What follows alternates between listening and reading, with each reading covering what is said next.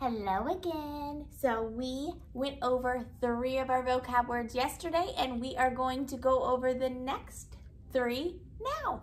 So you should have printed all of them out. You should have maybe at least made flashcards for the first three. Maybe you've already made it for all six. So let's go over our words. Our first, well actually our fourth word is cross. Look at this picture. Now there's two meanings for cross. Right away, when we think of cross, we probably think crossing the street, going to the other side, right? But cross can also mean you're very annoyed or angry. So cross is something we call a multiple meaning word. It has more than one meaning okay? Have you ever been cross with somebody? Have you ever been annoyed or angry with anyone? I'm sure we all can say we have, especially if we have a little brother or sister, right?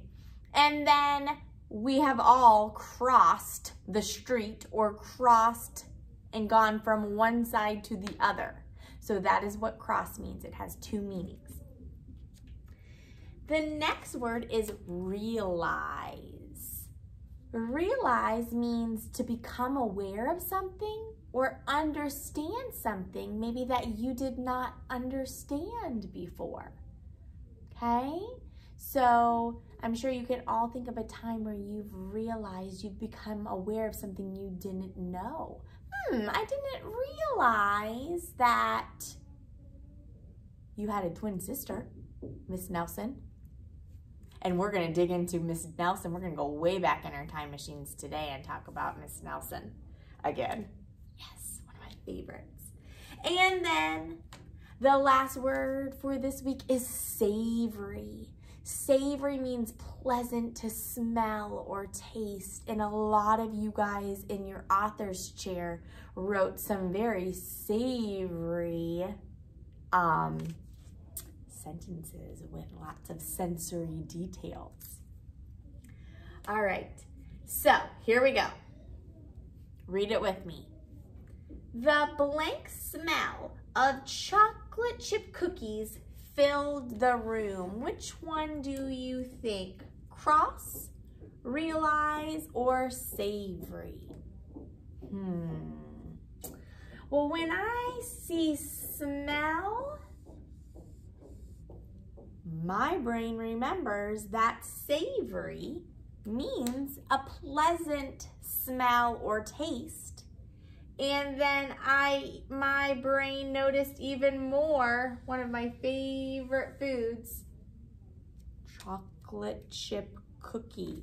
Is a chocolate chip cookie a pleasant or savory smell? Yes, absolutely. And I, my marker died. So those are the context clues for this sentence. Read it with me with the correct word. The savory smell of chocolate chip cookies filled the room. Mmm, I can smell them and taste them already. All right, our next one. Are we ready? Olivia felt blank when Owen broke her new toy. It's happened before. The other day, popped the Barbie's head right off. And she was very what? Realize or cross? She was very angry and annoyed with him. She was cross. So what was the context clue? Well, uh, when Mr. Owen broke her what? Toy.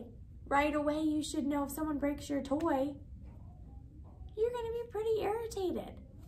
And then we have one word left.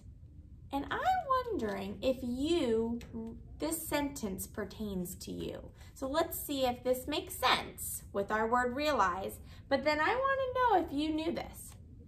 Did you realize Monday was a holiday? Did you know that you had school off? Mainly because teachers had to do report cards. That wasn't the holiday though see if you can find out what holiday was on Monday. I'm wondering if you will realize if you will know. what holiday was on Monday. And if you didn't realize, get a calendar out and see if you can find out what holiday is on was on Monday. All right, so those are your six vocabulary words. Remember, try to use them. The more you use them, the better you're gonna get at them. Make sure you make your flashcards. You study for your quiz on Friday. And remember, we lost today because we didn't have school on Monday. So make sure you're really practicing and studying those words. All right, I'll talk to you later. Bye.